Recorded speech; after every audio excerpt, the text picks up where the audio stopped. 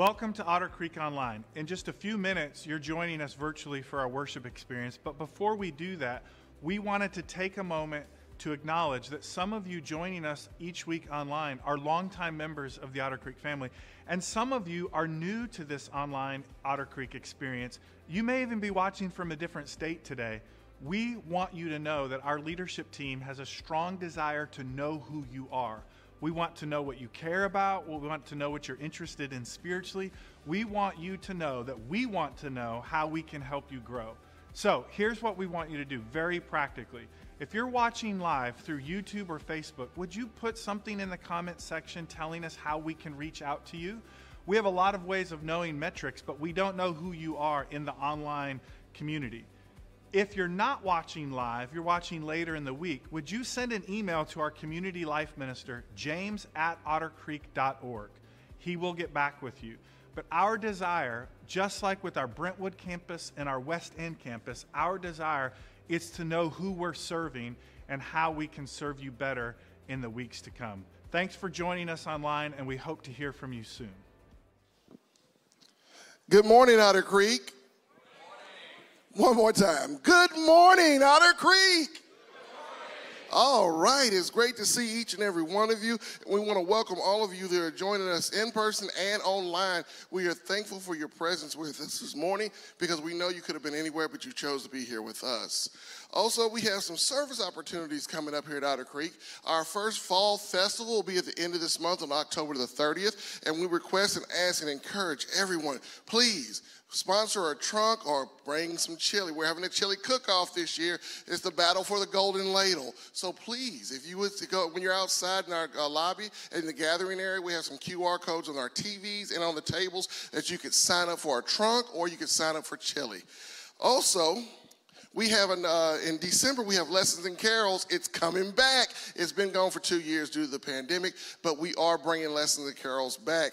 And Lee Flat will be leading a choir this year. Anybody interested in singing in that choir for Lessons and Carols, see Lee Camp this morning, 10 a.m., in room 157 for the first rehearsal and to talk to him about that. Lee Flat, Lee Flat, thank you. I said the wrong name again. also, you see me, you know what that means. It's New Member Sunday. So let's talk about our new families that have joined Otter Creek this month. First up will be Abigail and Nicholas Simpson. They attend the Otter Creek West End campus. They both met at Harding University. And Abigail is from Memphis and works, in public works for a public relations company. And Nicholas is originally from Louisiana. He was a theology major at Harding and is currently working on his master's in speech language pathology. Next up was Craig and Julie Underwood.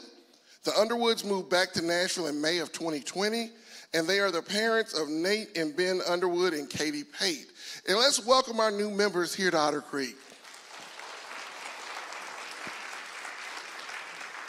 We're so thankful to have them here with us now to be a part of our family. And this morning we have a special treat for you also.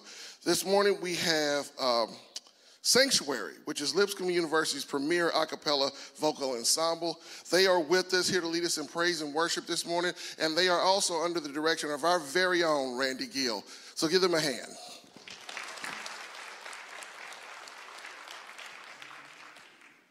Let's stand and sing together. Our God and firm foundation, our rock, the only solid ground. The nations rise and fall. Kingdoms once strong, now shaken. We trust forever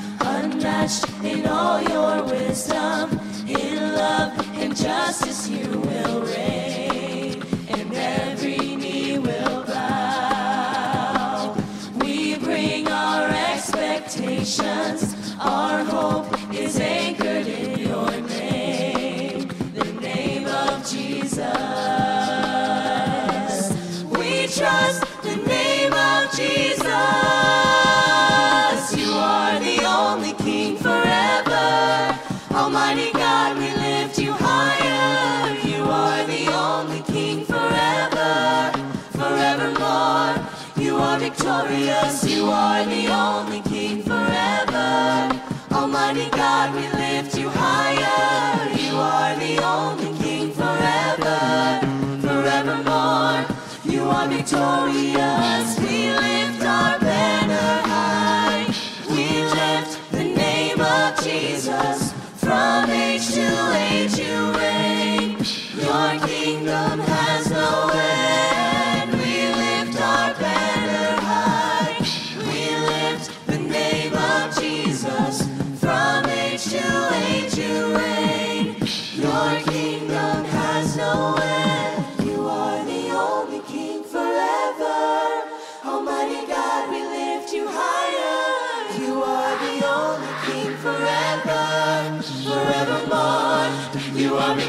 us, you are the only King forever. Almighty God, we lift you higher. You are the only King forever, forevermore. You are victorious. Our Father, Creator, you hold our hearts together. There's no one higher than Redeemer, Defender, our great and mighty Savior. There's no one higher than you. You are always with us, gracious to forgive.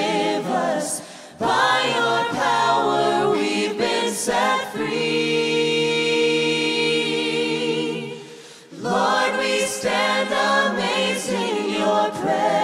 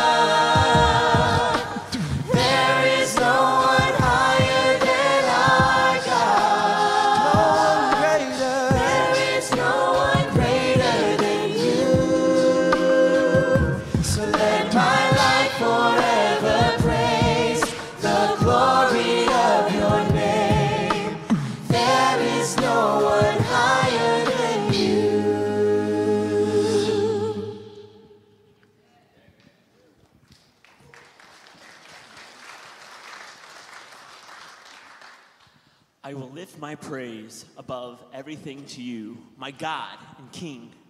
I will continually bless your name forever and always. My praise will never cease. I will praise you every day. I will lift up your name forever. The eternal is great and deserves endless praise. His greatness knows no limit, recognizes no boundary. No one can measure or comprehend his magnificence. One generation after another will celebrate your great works. They will pass on the story of your powerful acts to their children. Your majesty and glorious splendor have captivated me. I will meditate on your wonders, sing songs of your worth. We confess there is nothing greater than you, God, nothing mightier than your awesome works. I will tell of your greatness as long as I have breath. Come let us worship our King.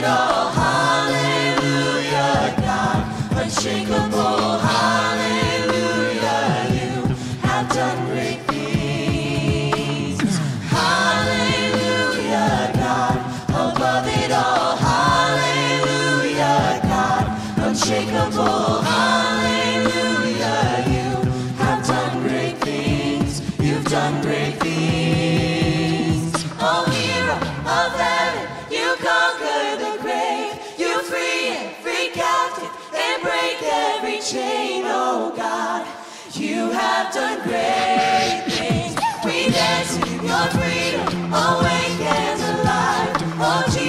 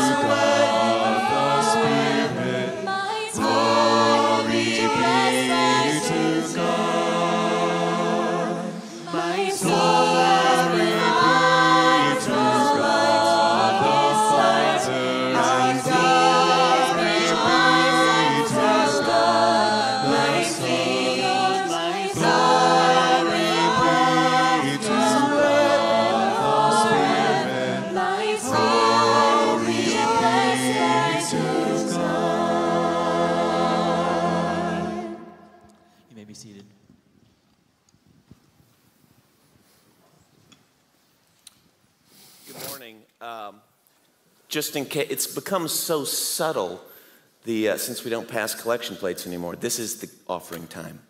Um, and there will be ways to give on the screen, but I, hope you've appreciated that we've used this time as a church to highlight some of the ministries that you're giving supports. And I'm here to talk about um, Room in the Inn, which I know many of us are aware of. Some are more involved than others, but it starts up here in November, runs through uh, March. So I um, used to feel kind of guilty on Tuesday nights because I would always sign up for the overnight shift.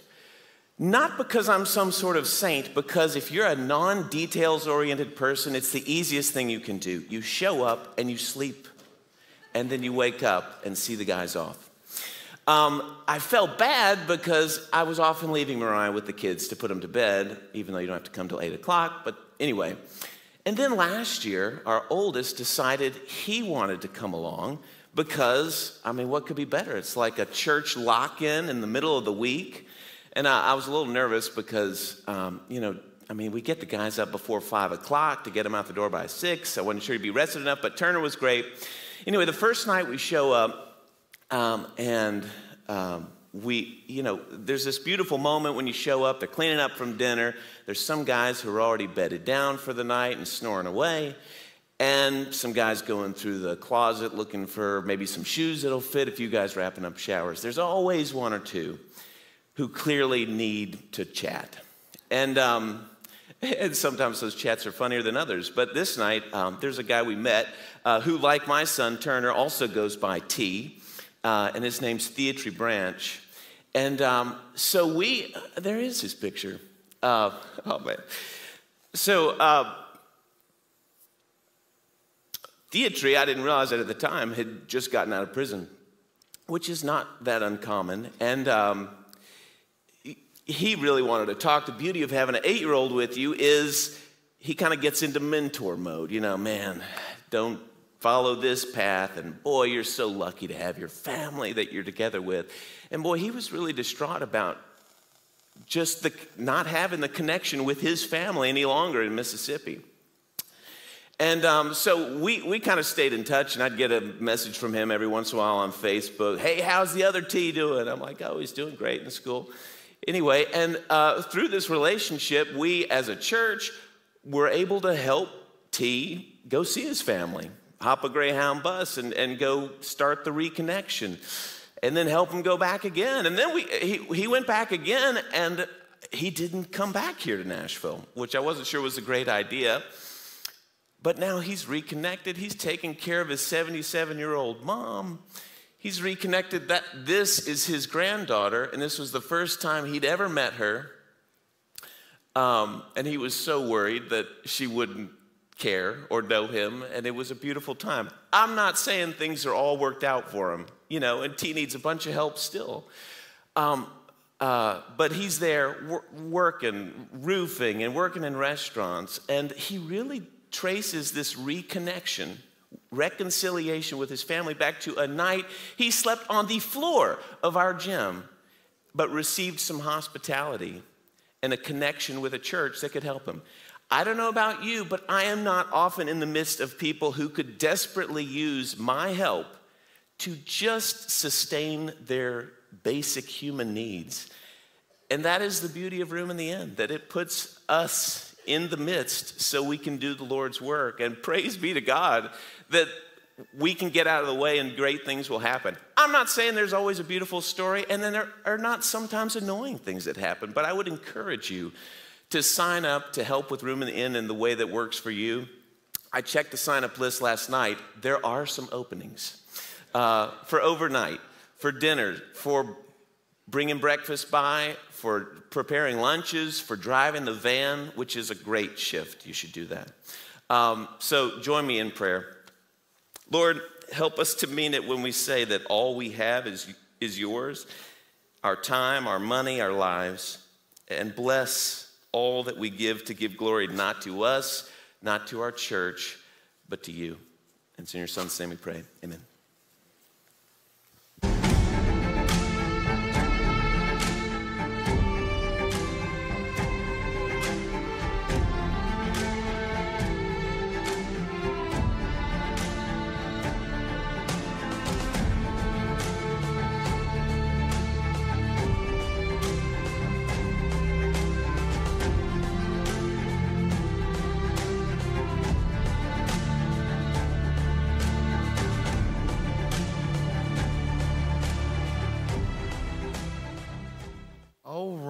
Good morning, Otter Creek. Oh, man. You know what this means. It's fall break. so you get Uncle Pat. He's going to come and give you a sermon, and it's going to be great. So I know this year, I think last year, if I'm not mistaken, uh, fall breaks were like all on the same week. Is that right? So this, this is the time where it's on different weeks. And um, I'm just excited to be back with you. So hello to those of you who are watching us online. It's so great um, to be with you. And it's so great to be back in on the Brentwood campus. Um, if you're brand new to Otter Creek, you're like, who is this handsome man? And where have they been hiding him? Well, I'm in hiding at OC West End. Uh, that's where I'm at most of the time uh, when I'm not here with you uh, at the Brentwood campus. But uh, if you've not been able to join us at the West End campus at 10 a.m., I encourage you to do so. We would love to have you. We have things happening dur- during the week that you could also come be a part of. Just consider coming to hang out with us. If you're online watching, um, I'm sure that all of you who are at the beach right now are tuned in at the 840 I know it. We're checking rolls, so don't worry about that. So, uh, this morning, uh, I'm going to continue this series of the uh, seven deadly sins that Josh has been um, unpacking for us over the past several weeks, uh, or seven pathways, or um, um, another way to think about these sins is that there aren't these passive things, right? These are, these are sins that can really do harm and damage and destruction in our lives. And so I have the honor of talking, I guess honor may be the wrong word, but I'm gonna be talking about sloth. And so um, I think I have some, I think this is, nope, not, that's the wrong sloth. That is not the right sloth. No, I think this is, that, no, that is not, definitely not that sloth. We could, that could be a good sermon, but not that sloth either. No, no, not again. That is, that would be a great sloth to talk about, but this is not that sermon. I think the la- okay, that's more, yes, yes. This is the thing we're a little ancient picture here. This is the sloth we're going to be getting into uh, this morning uh, as we talk about this sin of sloth, or, or some has, has called it acedia. And so I want to start this morning with this quote from Anne Lamott. Many of you have read Anne Lamott's work, but I think this is a great way for us to start this sermon. It says, The secret is that God loves us exactly the way we are and that he loves us too much to let us stay like this. That's how much God loves us. Loves us so much, exactly where we are, but it's like, I love you so much that I can't simply let you stay like this. Now, I know when you hear, when you were looking at the email uh, this week, um, if you're not on the email list, get on the email list. But if you're looking at the email list this week, you're like, oh, Patrick's going to be talking about sloth. How nice. That good for him. That's, that seems like an easy one. Uh, good job, Patrick. You draw a good straw.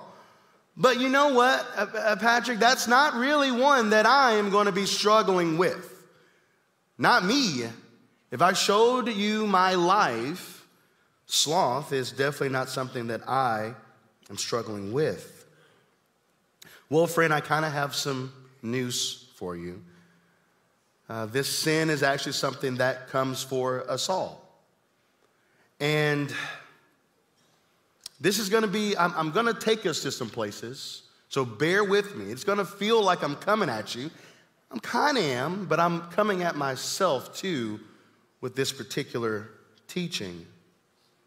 You see, according to many of our desert fathers and mothers, they say this that beyond the laziness, beyond the apathy, beyond the lack of care, that this sin of sloth, the seed busyness and workaholism aren't necessarily virtuous, but rather sloth's classic symptoms.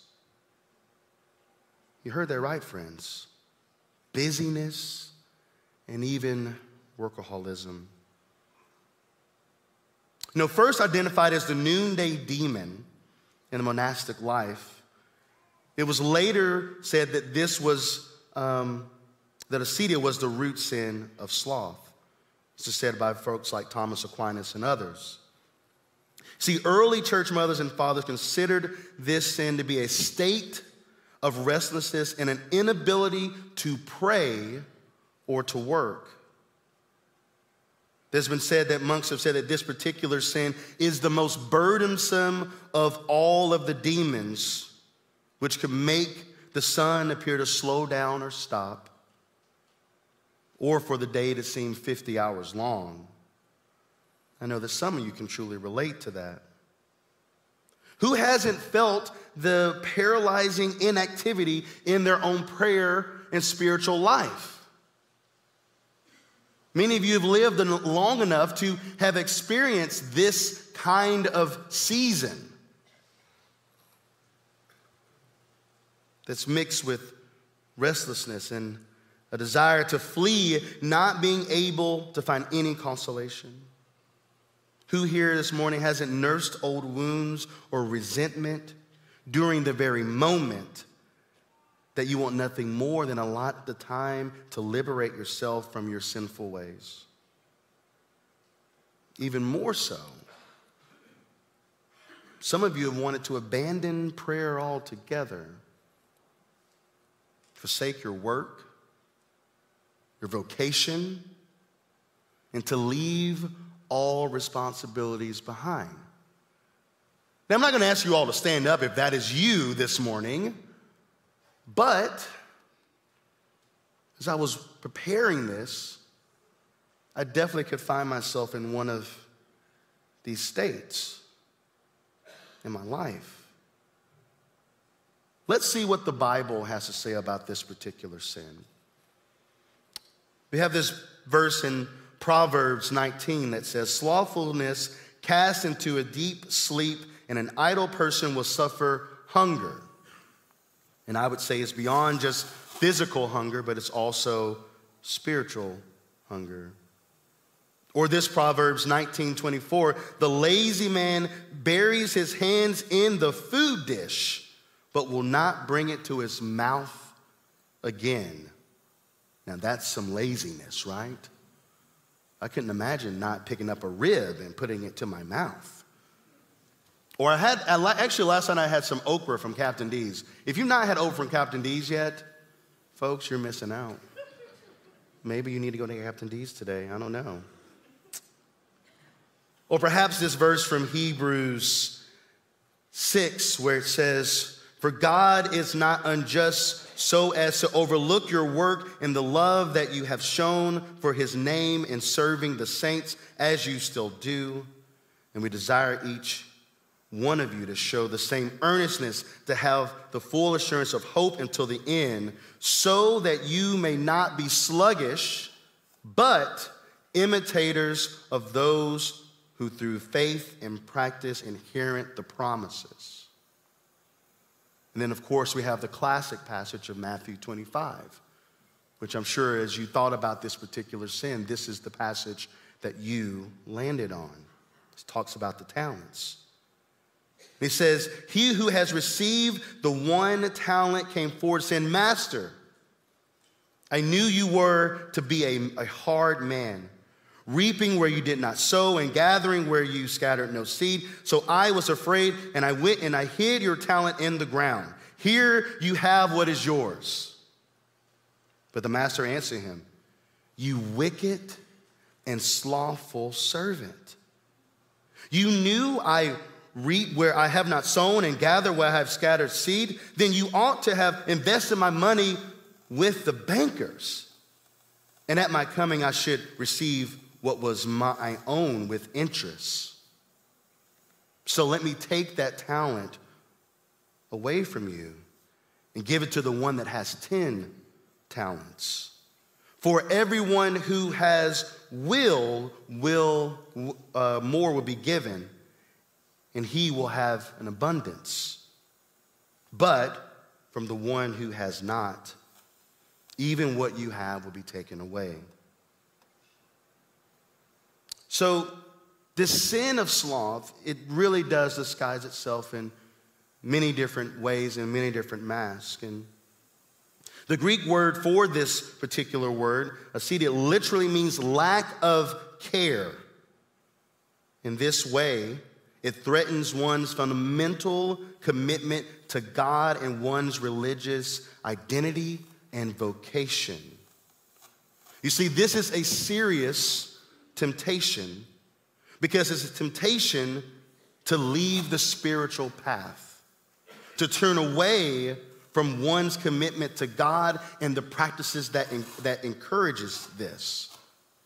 Another way to put it is that this sin of sloth says, I don't care. But not only does it say, I don't care, it says, I don't care about the things of God. And that's a tough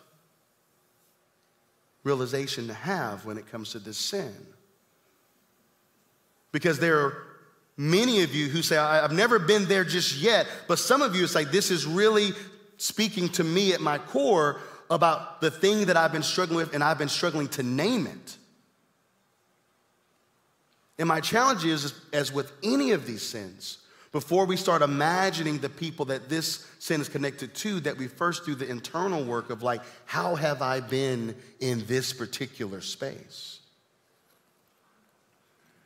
Frederick Buechner had this wonderful quote that I still am wrestling with as I read it few weeks ago. It says this sloth is not to be confused with laziness, which is what we often want to do. He says, lazy people who sit around and watch the grass grow may be people at peace. Their sun drenched bumblebee dreaming may be prelude to action or itself an act well worth the acting. So, you see, sometimes with this particular sin, we want to look at what is happening on the outside. Well, this person is running around, their calendar's full, they're super busy, they're super active. But that guy over there, he's what, he's just hanging out? He's taking a nap. He's watching the grass grow. That could be a person at peace who has got a different kind of motivation as to why they're at peace in that moment. And one day we will finally jump over the fence of understanding that this life is yes, your actions, I can look at them and I can tell certain things about you. But what is truly the journey is what is your motivation for the actions that you're doing? So sometimes you could just be a person of peace, or the person that we watch is a person of peace. He goes on to say, slothful people, on the other hand, may be very busy people. They are people who go through the motions, uh oh, who fly on autopilot like someone with a bad head cold. They have mostly lost their sense of taste and smell, and it's not COVID.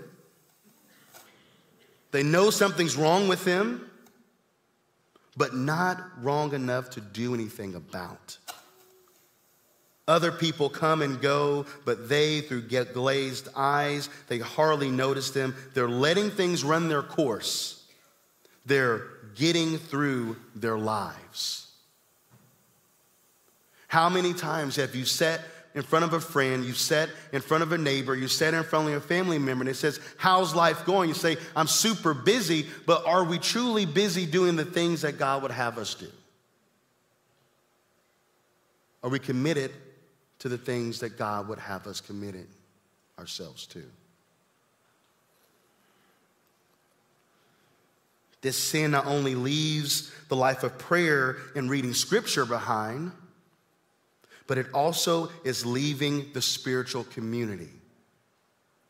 And if you need me to translate that a different way, that says leaving the church. That's what the sin of sloth will take you to. Yes, it's linked to both laziness and busyness, but sloth is avoiding to undergo the process of spiritual transformation, neglecting one's spiritual disciplines, and occupying oneself with other pursuits.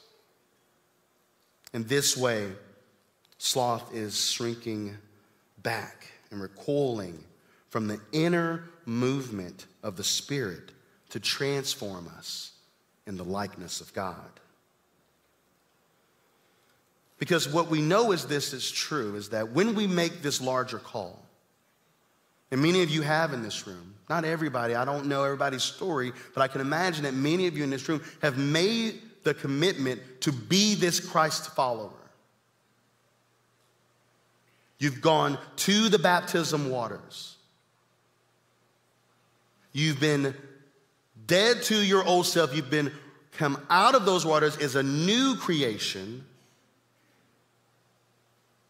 and we have a call and a path for our life, and there's no turning back from it. So it might do us well to consider where we find ourselves on this cycle of sloth, acedia. Have I been neglecting this call, this commitment, these practices? And if so, why? And another way, sloth is a sin merely uh, uh, not about laziness, but it's a lack of love. And that lack of love is what lies behind this laziness. And to me, when I think about this sin of sloth, the one thing that came to my mind right away, and I'm sure this is true for many of you, is the year 2020. The year 2020, that was probably the year that for many, they fell prey to this sin of sloth and slothful living. They put it on pause, all of it. Reading the Bible, paused. Praying, paused. Serving in my local church, pause. All of it. Now, it was forced, right? But now we've been back at it for a couple years now, and some people are still stuck in it and don't have the language to understand what is happening within them. And perhaps it's this particular sin of sloth. And so now we've gotten distracted with things like, of course, like we always will point ourselves because it bears repeating time and time again, but things like social media, that is definitely a, a factor in taking us on this path of slothful living. Even the good things, being involved in sports and travel lead, sports and work and working out. I love to work out. I go to title boxing all the time because I like to hit heavy bags, right? And all of that is great. But what's my motivation for why I'm so busy and why I'm doing the things that I'm doing? Am I avoiding something? Am I avoiding the practices I know I ought to be up to? So you say, okay, Patrick, okay, that's wonderful. Not wonderful. You've, that's a lot. What is, what is the antidote? How do we combat this sin of sloth? Well, diligence, devotion, stability of place, stillness, steady commitment, and daily discipline. And you look at this list and you say, well, that's a similar list to how we are antidote for many of the sins. Yeah, absolutely. But it's true for this particular deadly sin too. You know, the word diligence, which means, from Latin, which means to love, diligence is about love and accepting God's love for us and the cost of loving Him back. Because, see, we as humans, we are made to love. And to resist love is to deny the essence of our very being. And so, to combat this sin of sloth, we need to cultivate these diligent spirits. And I love this idea of stability of place. John Calhoun wrote this, and I thought that was so beautiful to help us understand this stability of place. He says, You must not abandon the cell in the time of temptation, fashioning excuses seemingly responsible. Rather, you must remain seated inside exercise perseverance. And the struggle to not succumb to this exiting will lead to a mind that's unskilled and cowardly and evasive. To stay put physically was to mean to stay put spiritually even when one was not spiritually engaged or enthusiastic. Staying put is the antidote to a restless boredom and temptation to leave one's cell, metaphorically speaking. And I love the idea of this spiritually engaged in enthusiasm that is lost sometimes. And many of us have been a part of churches in our past and part of faith communities in our past where it's like, well, you know what? The excitement has gone. I don't feel that engaged.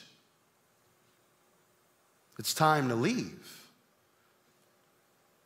Now, I don't want to be so black and white about it, but I want us to prayerfully consider what might it look like to get even more rooted in the place that God has placed you. Because the sloth just simply picks up and goes to another place and ends up doing the same slothful thing they were doing in the place they were previously. And it becomes this cycle. Because here's what I know the enemy wants you to keep exiting the different places that God has placed you. I don't want you committed and stable and, and in one particular place. I want you to be this wanderer.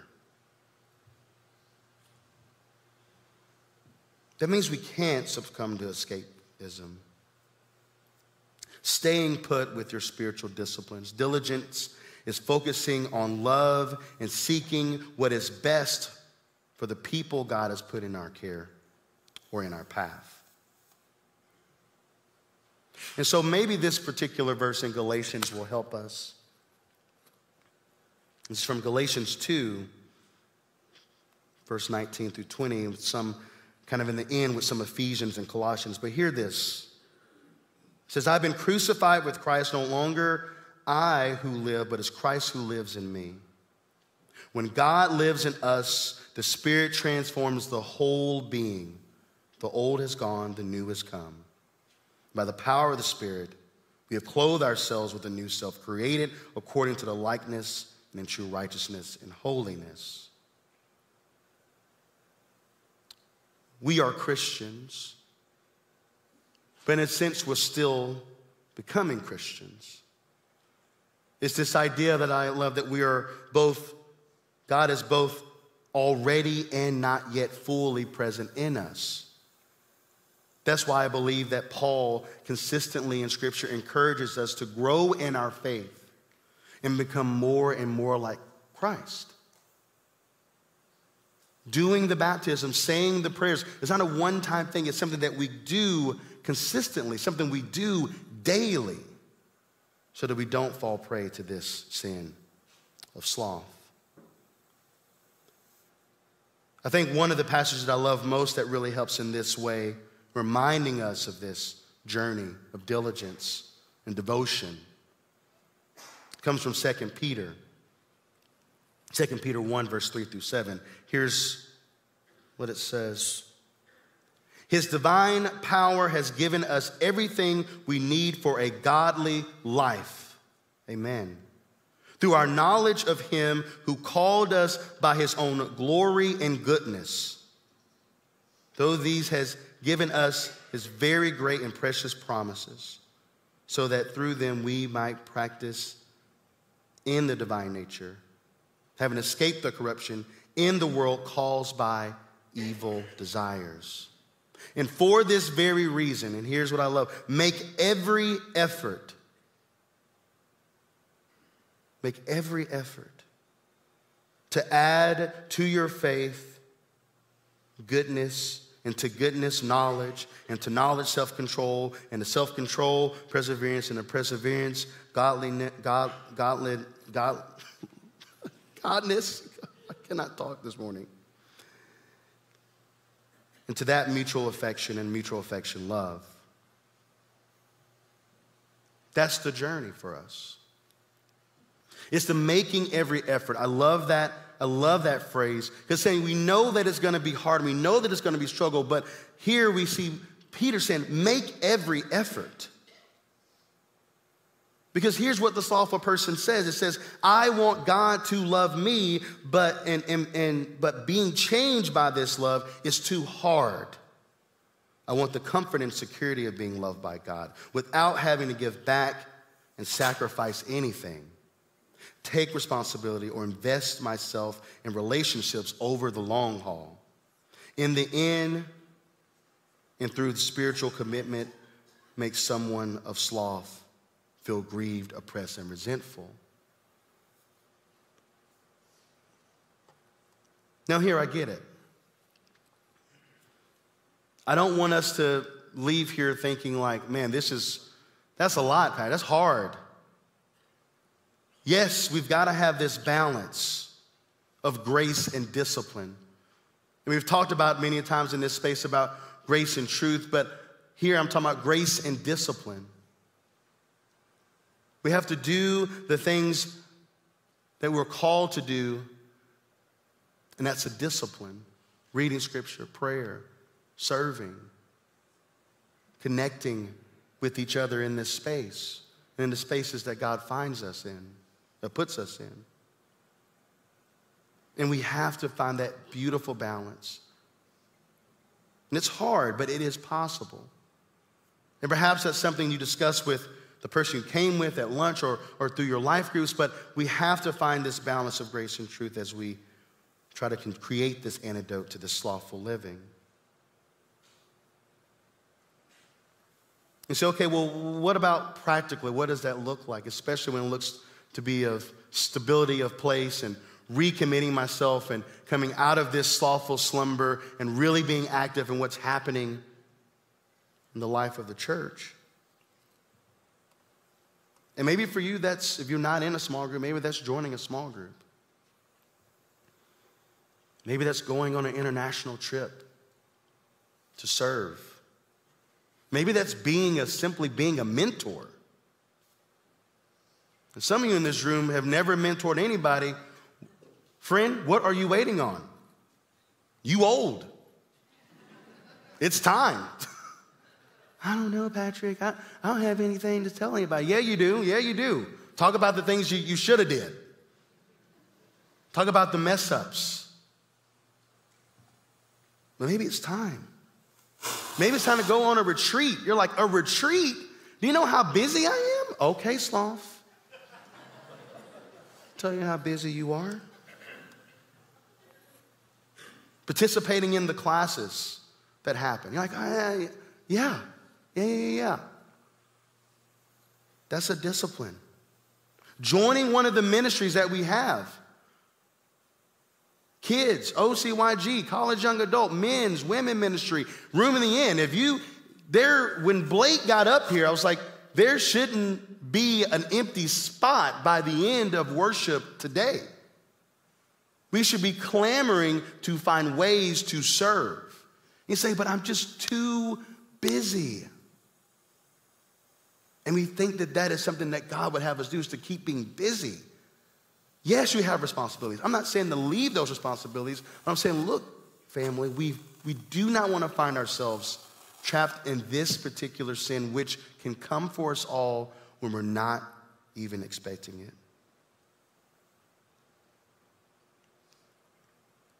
So I want to end this morning with this prayer, and it's kind of a prayer slash confession, and then we'll say the Lord's Prayer. And so I want you to stand with me, and um, this comes from Thomas Merton and an unknown author to kind of match them up.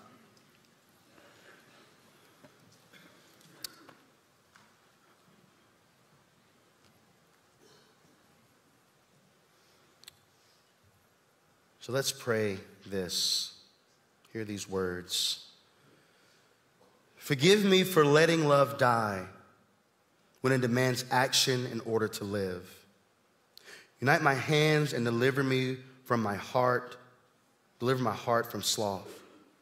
Set me free from the laziness that goes about disguised as activity when activity is not required of me, and from the cowardness that does what is not demanded in order to escape sacrifice. But give me the strength that waits upon you in silence and peace. And we pray the way you taught us to pray Our Father, who art in heaven, hallowed be thy name. Thy kingdom come, thy will be done on earth as it is in heaven. Give us this day our daily bread, and forgive us our trespasses as we forgive those who trespass against us. And lead us not into temptation, but deliver us from evil. For thine is the kingdom and the power and the glory forever and ever. Amen.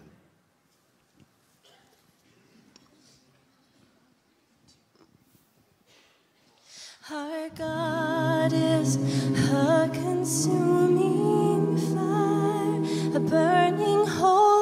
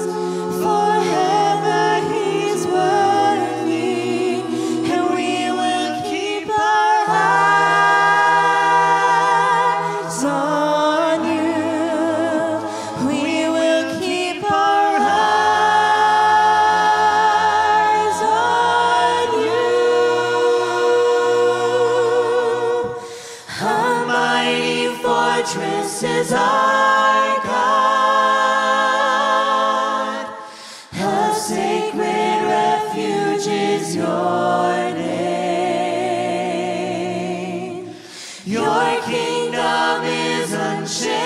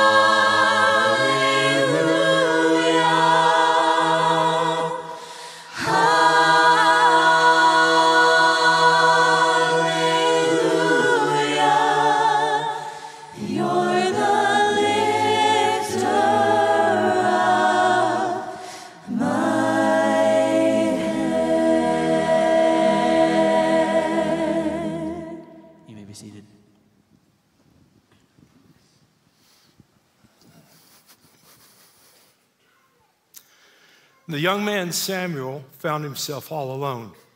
You see, the Israelites' perpetual nemesis, the Philistines, had just attacked and killed the, high, the priests, Hophni and Phinehas, Eli's sons. And then Eli, when he heard about it, he fell over dead by himself. There's no one left. It's just Samuel. And if you study that whole chapter, you'll realize Samuel was probably in his teens when he's all alone. And why are the Philistines successful against attacking Israel? It's because Israel has turned away from God. The first commandment is, Thou shalt have no other gods but me. Israel is now serving Baals. They're, they've got Asherah poles. They've got everything, anything but God first. And that's why God sent the Philistines, used the Philistines to attack them perpetually. Samuel began a 20 year journey where he made a circuit all through uh, the tribe of Benjamin into Ephraim, preaching repentance. Turn away from these idols, turn away from all this, and bow down to God who brought us out of Egypt. He's the one. So after 20 years, the people relented and they said, Okay, Samuel, well, let's do it. Let's, let's redo the covenant that we have with Joshua. So Samuel said, Let's all gather at Mizpah and we'll ratify the covenant. It'll be a great thing. So hundreds of thousands of children of Israel gathered at a little town called Mizpah. And as soon as they did, the Philistines heard about it and said, Let's go up and attack them. We'll wipe them out. They're all in one place. So Israel had not really been prepared for a battle. They went to ratify a covenant. And the Philistines gathered all around them.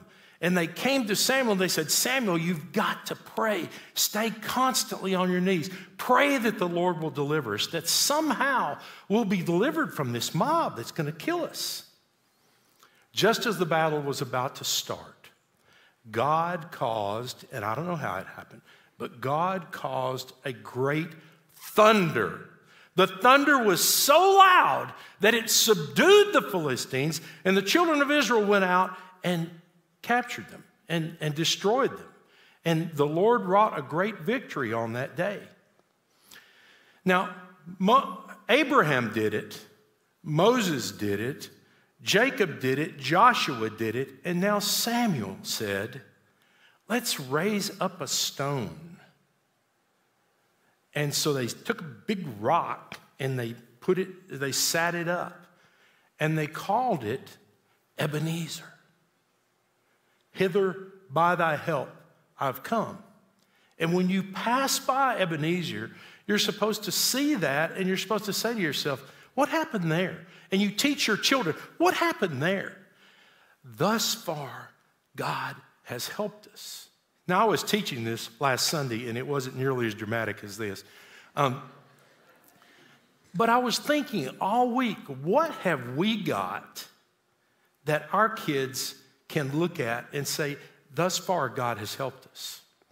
And I thought about my own developmental stages. And when I was a young man, used to walk through, walk through the church from the back door, and you would see in the very front of, the, of this church, every church I've ever been in in my whole life, it had a table in the front.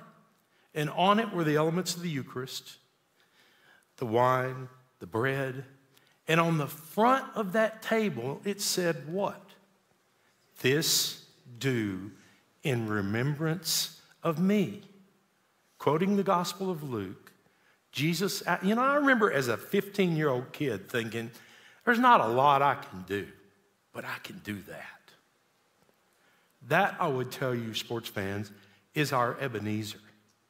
That's what we should be remembering and teaching everyone because, yeah, the, they, want, they won a battle. Jesus won the war. Let's pray. Father, thank you for this time. Thank you, Father, that you ask us to remember, not, not because of you, but because of us. It helps connect us with who we are in your kingdom. Thank you for this bread and this cup. Just pray, Father, that you use us to your will. In Jesus' name, amen.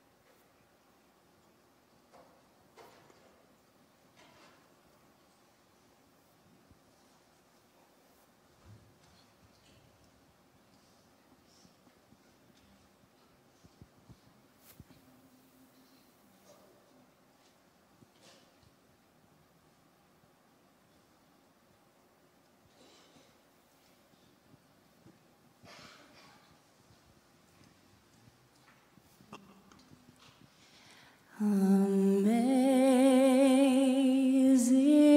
grace,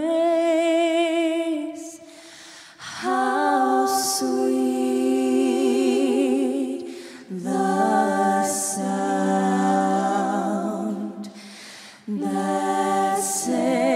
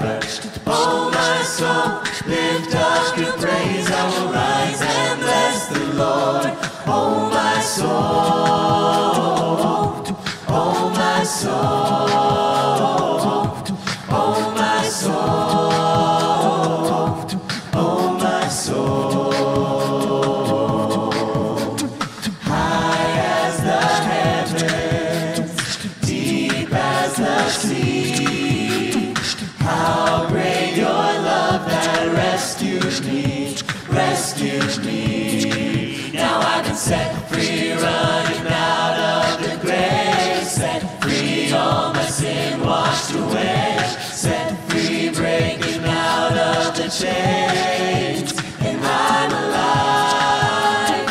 Oh, my soul, lift up the name of the one who saves, he reigns forever. Oh, my soul, lift up your praise, I will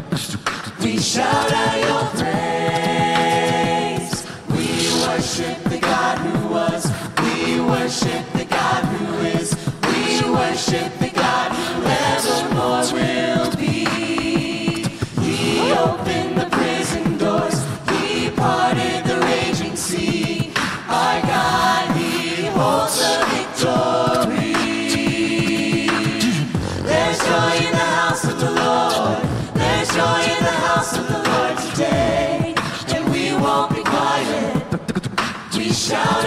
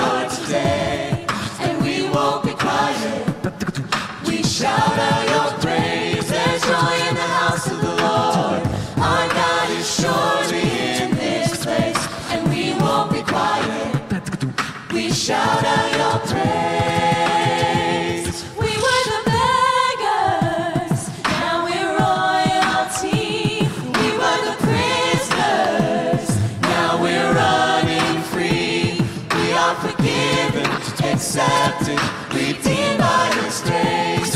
Let the house of the Lord sing praise. There's joy in the house of the Lord. There's joy in the house of the Lord today. And we won't be quiet. We shout out your praise. There's joy in the house of the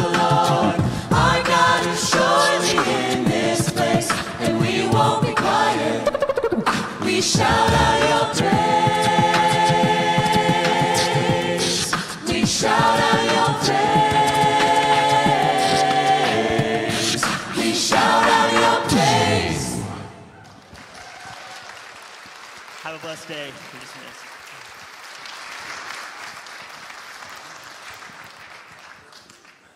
I might have been able to do that percussion thing. What do you think?